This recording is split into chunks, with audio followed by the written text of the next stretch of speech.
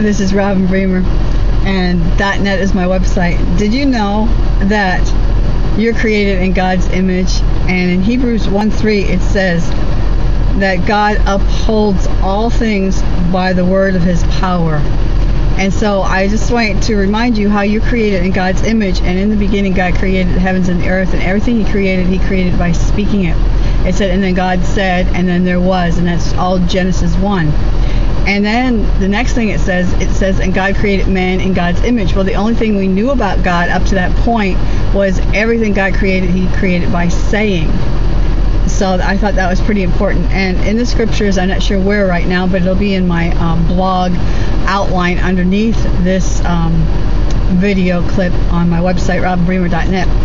Uh, but it says that we're created in God's image. But it also says that he upholds all things with the word of his power. So Hebrews 1 3, we do the same thing. We uphold all things by the word, his word of his power. In other words, if he says, by the stripes of Jesus you have been healed, then that word has power in it.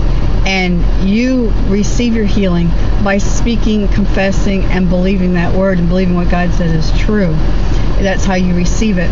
And so it's important that you know that you're created in God's image. It's important the words that you speak because life and death is in the power of your tongue, and that's Proverbs 18:21 or 21:18.